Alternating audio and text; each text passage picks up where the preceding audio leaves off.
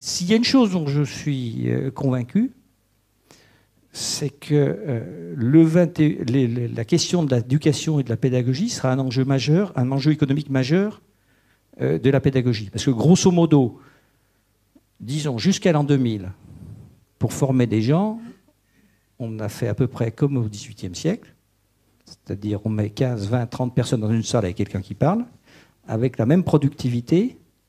Et toujours ce, ce rapport avec le livre. Oui.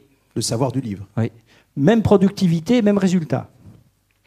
Mais c'est devenu un enjeu économique beaucoup plus important, puisque aujourd'hui on sait qu'un des facteurs euh, du niveau de vie d'une communauté, c'est le niveau d'éducation des gens qui, euh, qui en font partie.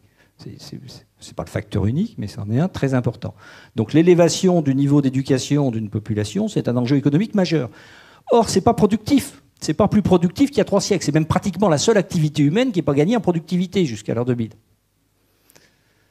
Mais euh, tout ce qui est utilisation des nouvelles technologies pour varier les supports, pour donner plus de productivité, ça va être euh, un champ économique colossal au XXIe siècle. C'est un des enjeux euh, majeurs de l'économie au XXIe siècle avec les robots. Hein, et pas l'informatique qui est technologie dépassée pardon de vous interrompre, Bruno.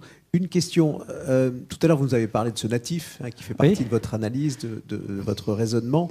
Euh, le natif de l'Internet. Euh, vous évoquiez l'école là, en en parlant comme d'un enjeu essentiel.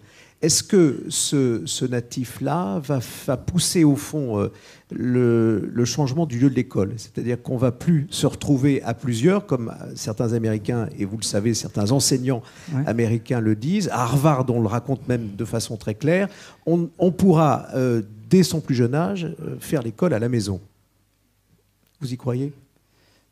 Alors, je, je, ne crois pas que ce qui est le balancier qui est 100% d'un côté va, un jour 100% de l'autre. De même que vous a dit la télévision tuera le cinéma, non. etc., euh, etc. Donc, Mais on peut travailler à la maison. Euh, le télétravail existe. Oui. Donc ce que je pense, c'est qu'il y a un mouvement dans ce sens-là ça ne veut pas dire qu'on arrêtera d'avoir des bureaux, des organisations, etc. Mais qu'on travaille à la maison, oui, il y a chaque année plus de gens qui travaillent une partie de leur temps chez eux. Ça, c'est un fait euh, objectif qui ne peut que, euh, qui ne peut que s'amplifier. Ce qui veut dire, au fond, Bruno, que la collectivité est essentielle dans la transmission du savoir. Plus on est, euh, plus on a d'exemples autour de soi, mieux c'est.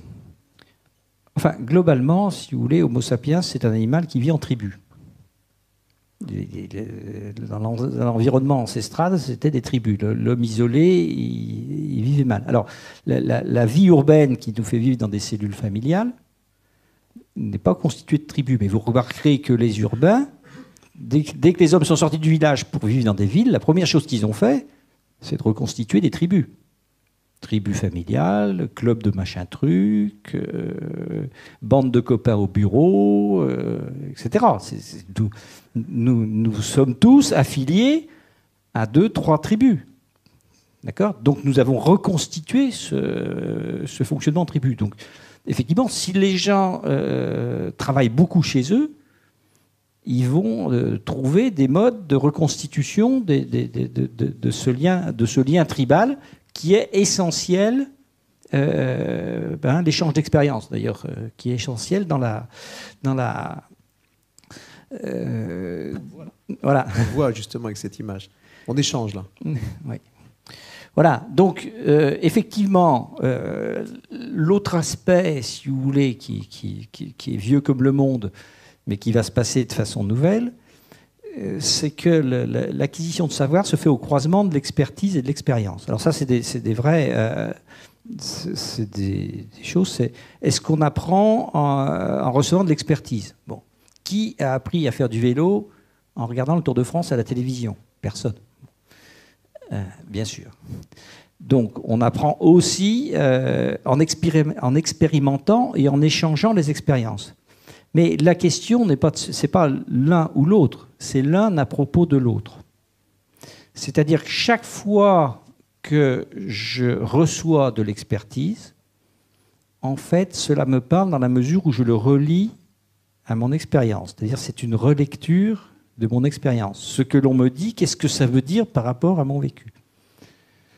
Et chaque fois que je vis des expériences qui m'étonnent, me percutent, me surprennent, etc., je me dis en quoi ça modifie mon savoir, mon intuition, mon expertise, etc. Donc en fait, le, croisement expertise-expérience, sa force, c'est pas de le faire l'un à côté de l'autre, c'est de le faire l'un à propos de l'autre, me semble-t-il.